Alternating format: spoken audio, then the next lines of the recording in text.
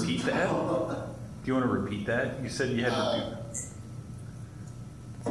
So on the older HDX Polycoms, I have to hit um, lifesizecloud.com and then hashtag, hashtag, and then the meeting number. And that seems to work on the HDX systems to call into your meeting room. Sometimes, um, and I guess I just need to play with it a little more. It seemed like sometimes I have to put an extra hashtag at the end. And I don't know if that's on the new group 700s I gotta do that on.